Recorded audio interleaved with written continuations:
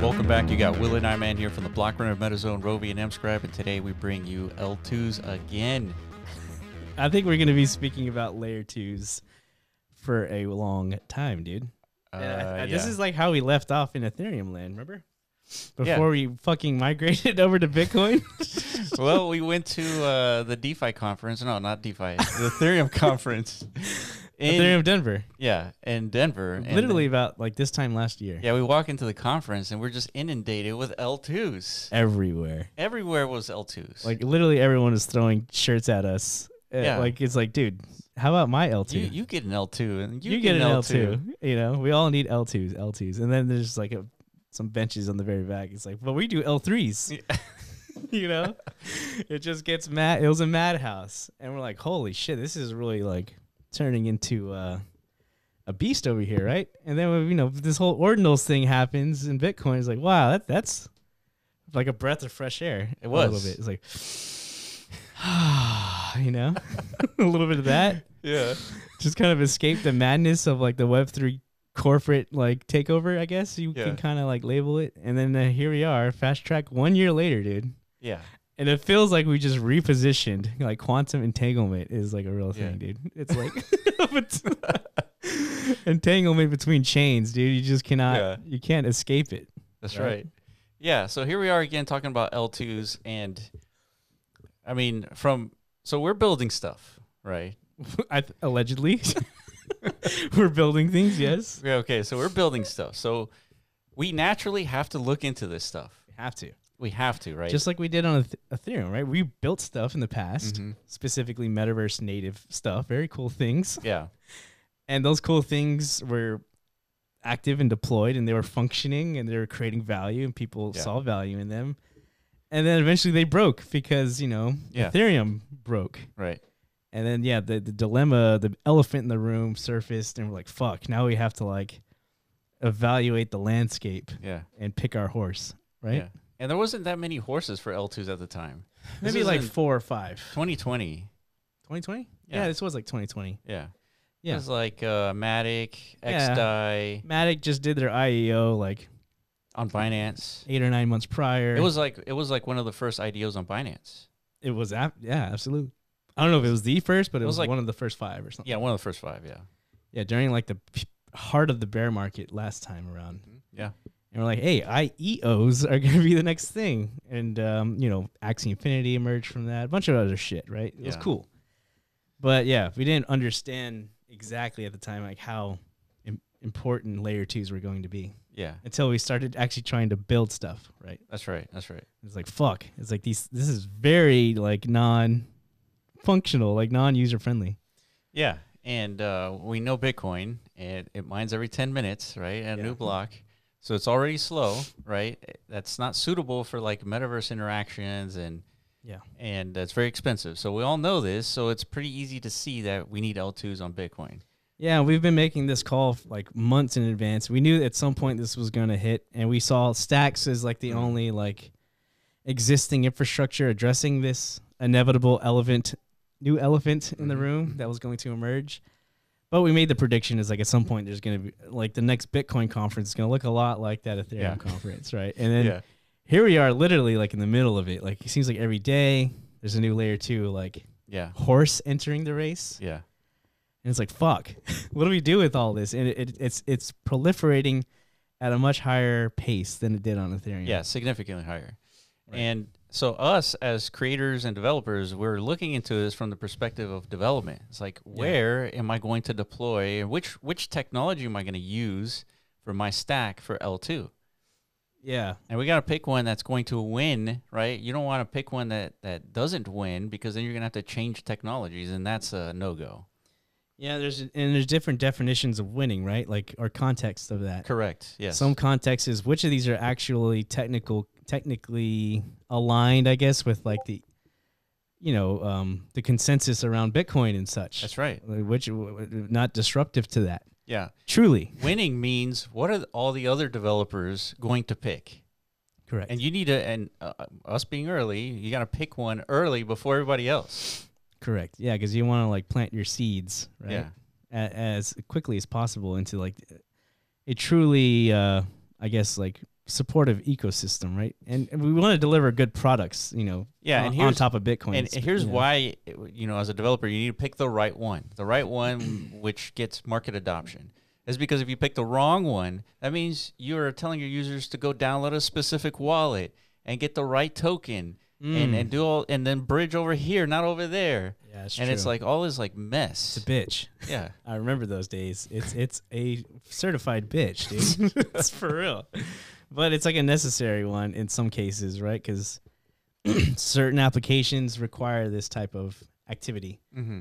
right? So I mean, this is the burden the of of the entire Web three space. Ethereum is not cleaning up in any regards. It's becoming more of a complex beast over time Yeah, hundred percent. for like the new user, right? It's like fuck, I have all these different L2s, like. Yeah, we've man, we've made quite the mess everywhere. If you thought the internet was a mess of like stratification, Yeah. which is the fact that you got to create like a, a different password for every single like Yeah, web that- portal. that's definitely a mess for sure. right. It's kind of like it's returning that same practice, Except way like, worse. Web3. It's this is the architecture level Yeah, mess. I know. Password is like app level mess. Agreed. Fuck. Okay. Well, whatever. So in light of that, it's happening on Bitcoin, right? So, so it's important to us. It's probably important to you guys watching this because you want the highest entertainment value. Everybody wants that.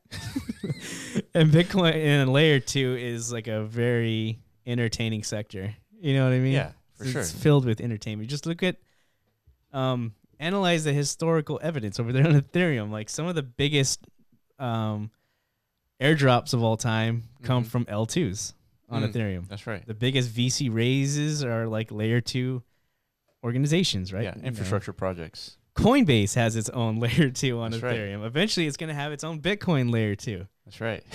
These things are going to happen, you know. So it's yeah, we all kind of like collectively are sifting through all this madness to try and like uh, position ourselves in this inevitable, you know, Yeah. happening. Yeah, position ourselves from all kinds of angles. Yeah, from our perspective, is yeah, we want to deliver good products for the bitmap ecosystem, just for Bitcoin in general, right? So we want it to be technically sound. We don't want to deliver anything that's connected to like an infrastructure that's like potentially exploitive, right? Yeah. Because as we know, like bridging of assets between different layers is like one of the biggest attack vectors of all time. Successful attack vectors. yeah, it's proven. So okay, so here we are. Let's kind of like surface level analyze what's out there. It's Yeah. impossible to kind of like contextualize everything in one sweep. Yeah.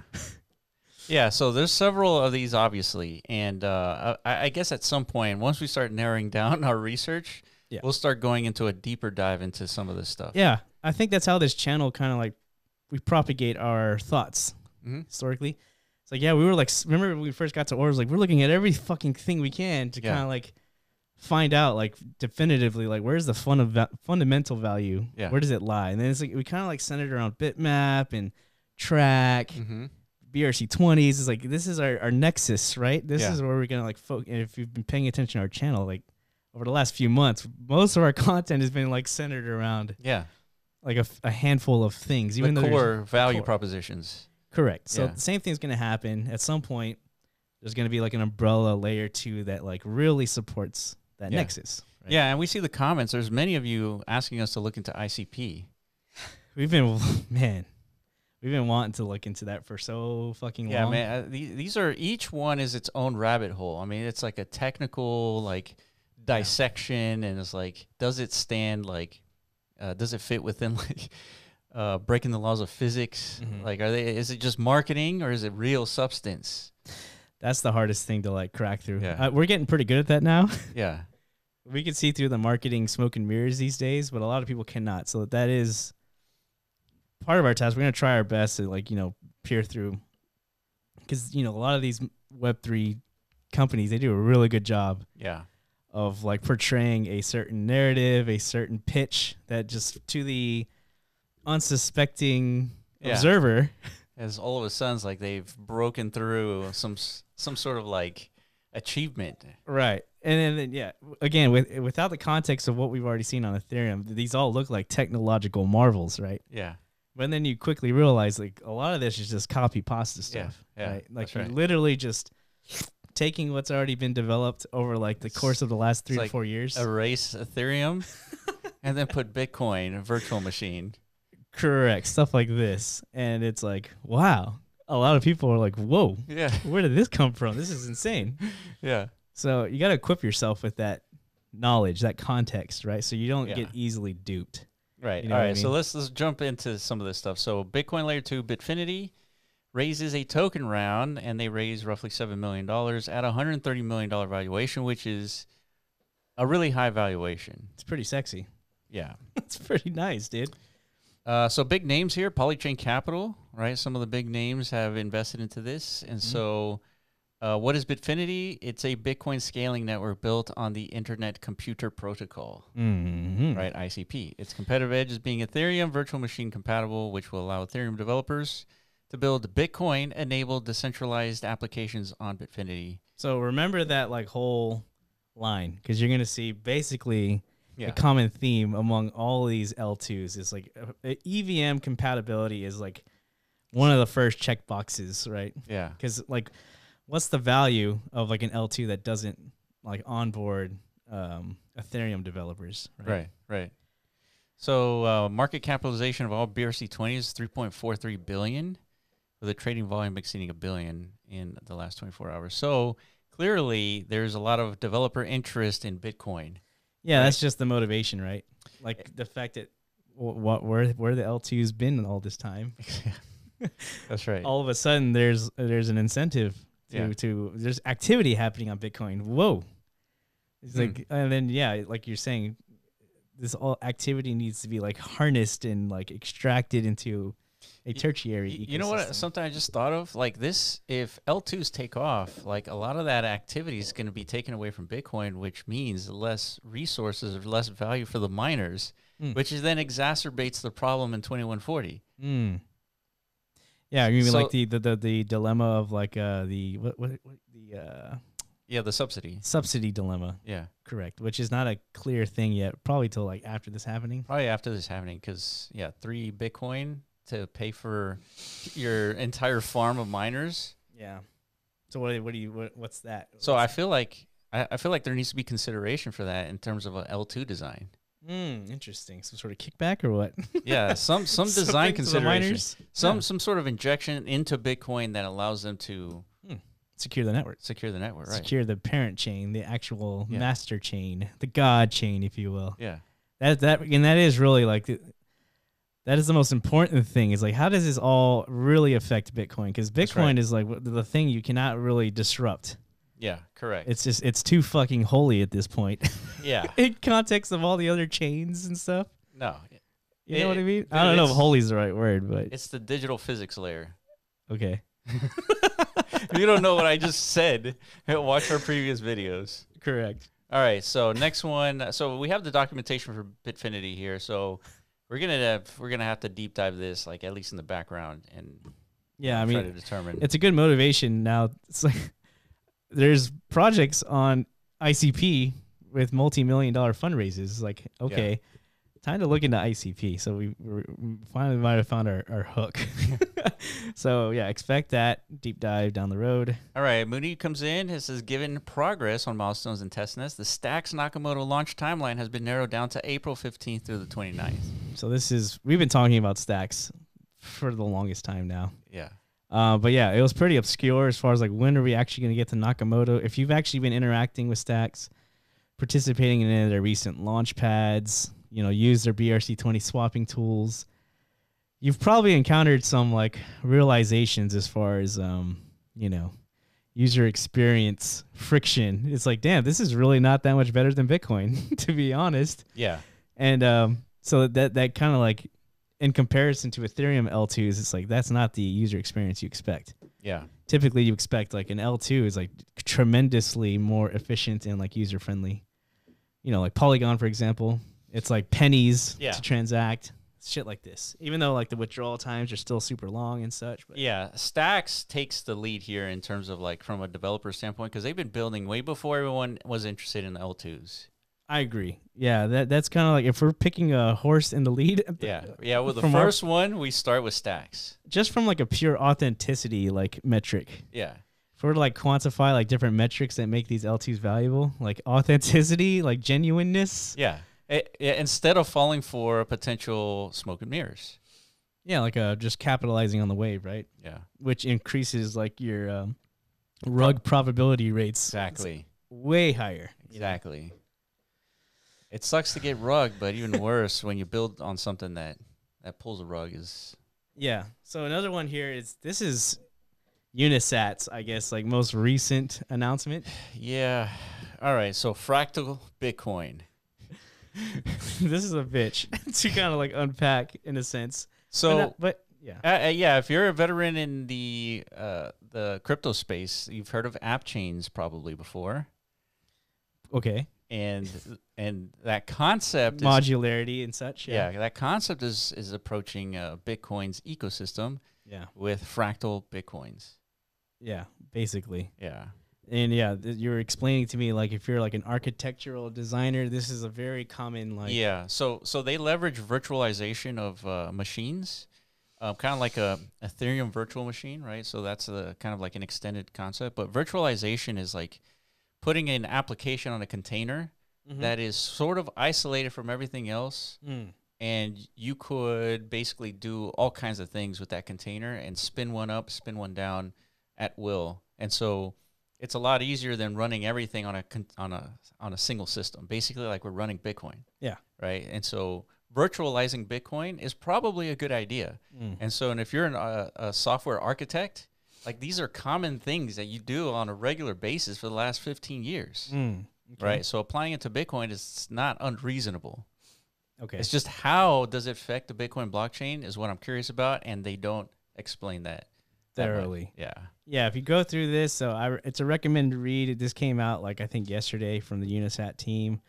Again, Unisat definitely checks that checks that box. I guess as far as authenticity, mostly because they've been around, they've been present, yeah. building on this Bitcoin ordinals ecosystem since the very Since the drop, Beginnings. practically, yeah, yeah. So there's as far as like a, a team or organization that has like a true motivation to actually solve real technical problems. yeah, it's them because they see it. They see the technical problems every day. Correct. Yeah. They're not just like hearing headlines of like, oh shit, things are Oh. happening on Bitcoin. Oh, they like L2s. We should do one. Yeah, let me go copy this like whole tech tech infrastructure to stack on Ethereum and just deploy it, or say we're going to deploy it on Bitcoin and raise like tens of millions of dollars. Right, right. That's yeah. So they have the authenticity check. This is a good concept, like you're saying. It makes sense, but yeah, it's early stages. But if you if you read it and you have conviction in it and you think they will deliver something of substance in the future, Yeah, I think it makes a lot of sense to just continue interacting within that Unisat ecosystem yeah, in the event there is like a future airdrop yeah. At stake. Agreed. You know. All right, so next one, unlocking Bitcoin's potential with Merlin Chain. So this is uh, from our friends uh, Jeff from Recursiverse and Bitmap Tech. They are coming out with their their solution for L2s.